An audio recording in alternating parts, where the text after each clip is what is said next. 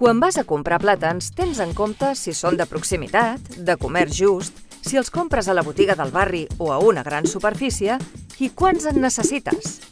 Però què passa quan és l'administració la que compra plàtans per un hospital o una escola? L'administració no necessita 4 o 6 plàtans, en necessita milers i milers. I d'on venen tots aquests plàtans?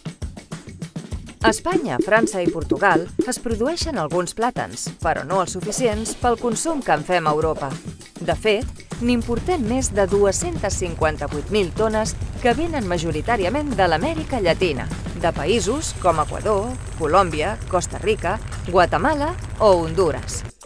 I quin impacte té això en els països productors?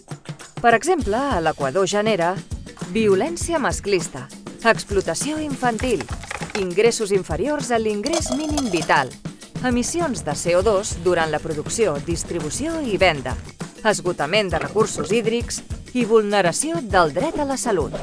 Si tu pots fer l'esforç de plantejar-te com consumeixes, l'administració pública també ho pot fer, perquè té més temps, més recursos i més capacitat de negociació que tu. I, a més, té l'obligació de perseguir el bé comú.